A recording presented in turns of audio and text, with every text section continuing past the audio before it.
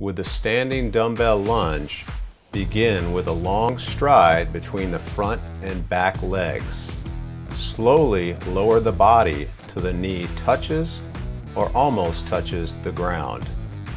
Return to the starting position.